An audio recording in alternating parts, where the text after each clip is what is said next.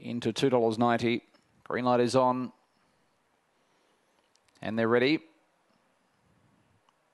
Racing, jumping quickly on the inside. Drama Mama also fast away out wide was Scrim Shander up on the inside. Wild Ambush pushing through Velocity Dream, then followed by Ron Ray Rebel. Behind them was Zhu Yang. Well back in the field, BTD and cash position. Last of all, off the back though, Drama Mama found the lead. In uh, second place, Wild Ambush now runs on, running very wide on the track. Drama Mama, Wild Ambush up on the inside, finds the lead, wins. Second goes the way of Ron Ray Rebel now. Third will go to Zhu Yang, I'd say, although wide was Drama Mama. Then followed in turn by uh, Scrim Shander, well back in the field, Velocity Dream, along with Cash Position and BDD, BTD at least at the rear.